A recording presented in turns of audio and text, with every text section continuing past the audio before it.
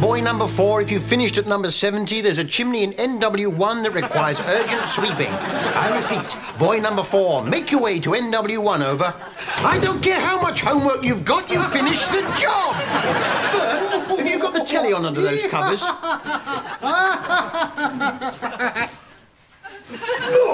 Oh, sorry, boy. Sorry. I was just watching They Think It's All Over.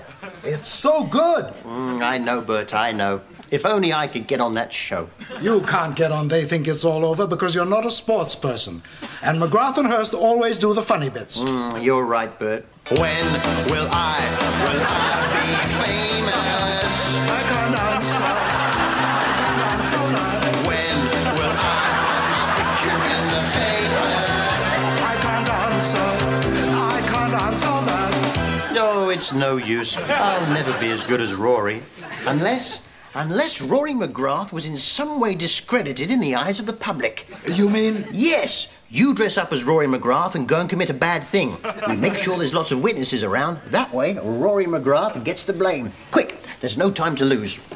Hello? Curly wigs and beards? Yes, I require a beard and a wig. Curly in nature.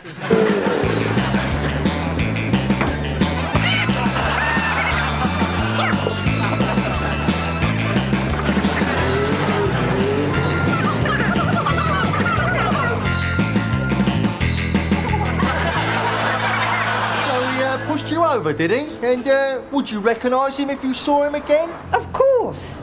He's the bloke from the telly with a beard. Oh, what's his name? Uh, Jeremy Beadle.